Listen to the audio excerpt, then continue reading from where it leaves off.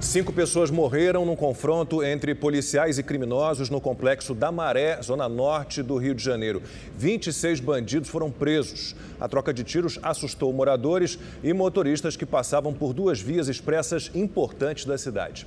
Ainda era madrugada quando os carros blindados chegaram na comunidade da Maré.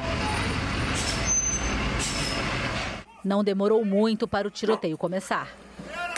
Vai ficar na Caraca, de trás. Estas mulheres tentaram se proteger dos disparos. Vários carros aparentemente usados por criminosos foram abandonados nesta rua dentro da comunidade. Na hora da fuga, até um fuzil foi deixado para trás. Por causa do confronto, a linha vermelha ficou parada. Quem passava pela via expressa se assustou com o tiroteio. Tiroteio, só mandando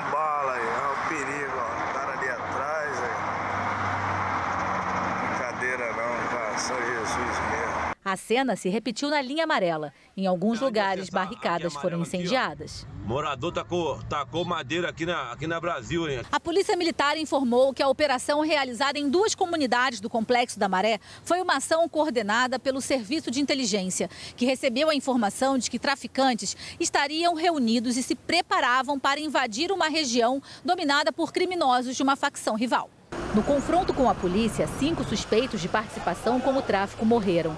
Mais de 20 homens, alguns com mandados de prisão em aberto, foram presos. E 120 policiais militares de batalhões especializados apreenderam fuzis, pistolas, cerca de uma tonelada de drogas e pés de maconha.